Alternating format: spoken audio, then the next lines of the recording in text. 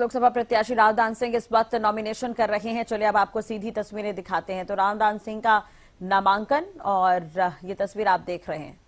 तो भिवानी महेंद्रगढ़ में रावदान सिंह यहाँ पर नज़र आ रहे हैं। नामांकन जनसभा की ये सीधी तस्वीरें आप देख रहे हैं। चौधरी विजेंद्र ओला जी और भाई मंचासीन सम्मानित मंच क्योंकि मेरे हीरे मोती पन्ना सब कुछ इस मंच के ऊपर है।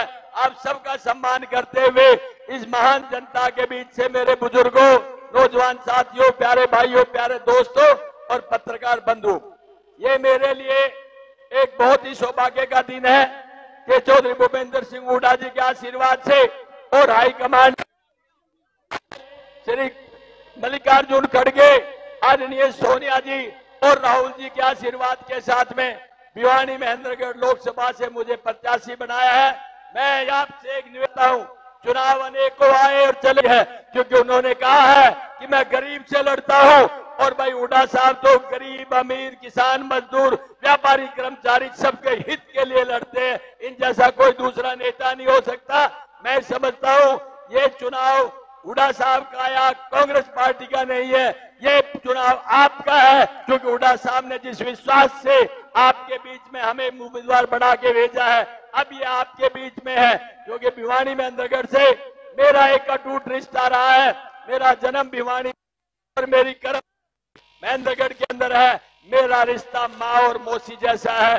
दोस्तों, मैं आपसे निवेदन करना चाहता हूँ, ये भाई आपका, ये बेटा आपका एक अपील करता है कि जो भूपिंदर सिंह हुडा जी के आए तो उस समय पर आपको लगे कि दिल्ली और चंडीगढ़ की चूल्हे हुल चुकी है। इस हरियाणा प्रदेश में भाई दीपेंद्र जी ने 10 साल कोने कोने में जाकर के अलग जगाया है। आज उसका परिणाम आपके सामने देखने के लिए आया है। मुझे पूरा भरोसा है। एक एक भाई चौधरी भूपेंद्र सिंह हुडा बन के चुनाव लड़ेगा। भाई दीपेंद्र हुडा बन के और मैं एक अदना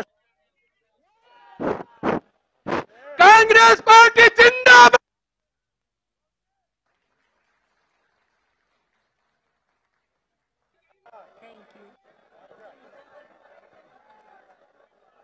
जी हाँ।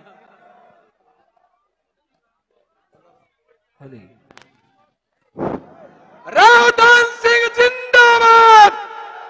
आप सभी से निवेदन है एक बार ऊपर हाथ उठाकर नारे लगाएँगे सभी। कांग्रेस पार्टी जिंदाबाद। जिंदाबाद। जिंदाबाद। चौधरी भूपेंद्र हुड्डा जिंदाबाद। जिंदाबाद जिंदाबाद। भाई दीपेंद्र हुड्डा जिंदाबाद। जिंदाबाद जिंदाबाद।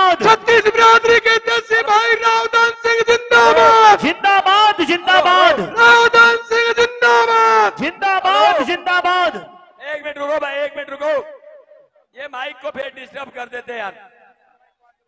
एक, दूसरा माइक कहाँ से बोल रहा है? ये दो ना। तो रावदान सिंह के नामांकन जनसभा आप देख रहे हैं, नारनौल से ये सीधी तस्वीरें हम आपको दिखा रहे हैं। इस दौरान शीर्ष नेतृत्व का आभार जताते हुए नज़र आए रावदान सिंह। इस दौरान उन्होंने कहा कि इस बार बदलाव की लहर और कांग्रेस पार्टी अपने इंडिया गठबंधन के सहयोगियों के साथ प्रदेश की सभी दस की दस सीट जीतने